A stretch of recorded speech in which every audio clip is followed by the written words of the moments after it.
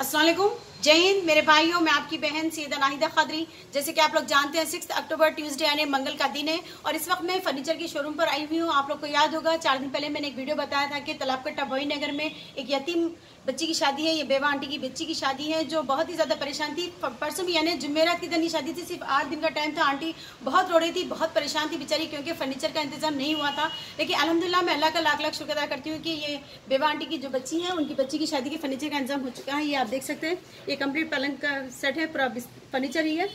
पलंग है, सिंगार में शोकेस है और साथ ही में यहाँ पर अलमारी भी आप देख सकते हैं। ये और साथ ही में कंप्लीट पलंग का बिस्तर भी मैं इनको दिला चुकी हूँ। कंप्लीट पलंग का बिस्तर जिसमें देखिए आप, गद्दा वगैरह कंप्लीट है बेडशीट है, मच्छरदान ब्लैंकेट हर चीज़ कंप्लीट पलंग का बिस्तर भी हमने दिला चुके हैं।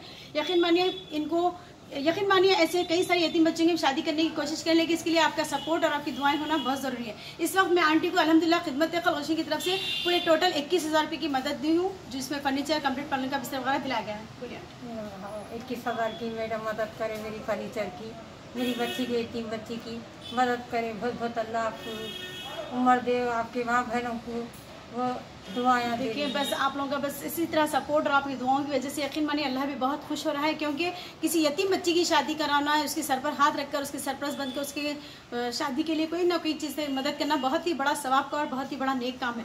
देखिए इसे दहेज नहीं कहा जाता है इसे एक बच्ची की ज़रूरत की चीज़ें कही जा सकती है। दहेज के मतलब होता है कि फर्नीचर बच्ची को जुड़े की रकम देना सोना देना कुछ भी एक्स्ट्रा चीज़ें देने को दहेज कहा जाता है। लेकिन ये तो बच्ची की ज़रूरत की सामान है जिसमें बच्ची अलमारी में कपड़े रख सकती है पलंग पर सोने के लिए उसे दिया जाता है।